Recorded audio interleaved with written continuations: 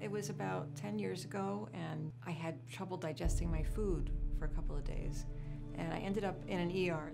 And they actually misdiagnosed me. They said I had a uterine fibroid and wanted to do an emergency hysterectomy. But something in me just said, oh, I don't think I'm really ready. I want to get a second opinion.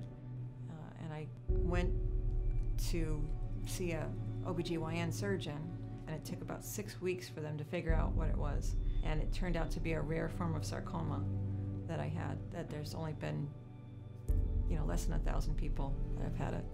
If you have more than a couple of tumors in your liver, almost no liver surgeon I found out wants to do surgery on those because they're too afraid that it can just keep spreading. It's stressful enough to have cancer without feeling like you have to be your own quarterback and try to pull the information together.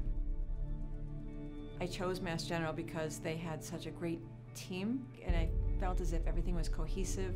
They had a much more aggressive approach that they wanted to do in terms of treatment, surgery, and radiation treatment.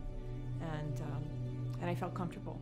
I read as much as I could about SIRT and Y90 before I came in to see Dr. Kalva. I faxed him a list of 27 questions before I came here for him to think about before I came in for my very first meeting with him.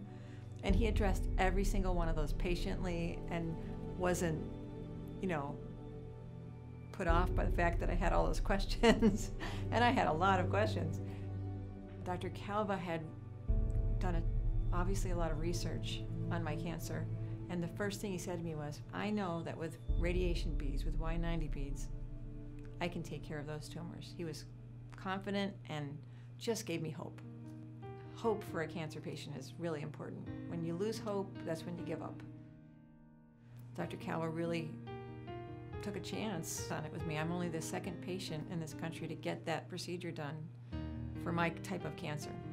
I feel like he's my he's my cowboy quarterback superhero. I want to give him a cape, Dr. Kalva cape.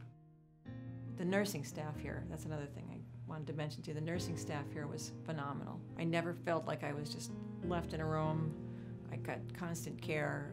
There was great responses if I needed anything. And they were just so encouraging. I, I really felt like that aided in my healing here. It's your life, it's your body, it's your heart and soul, you know, that you're trying to hang on to here. And I feel as if everyone at Mass General really cares about that and really wants what's best, best for me as a patient. It's been a few months, uh, but so far, my tumors are showing up as necrotic on scans and, and I had a biopsy done as well and they're showing up necrotic in that as well. And I feel as if I look pretty healthy, I feel pretty healthy, you know, and, and it's given me a shot that I didn't really have at that point.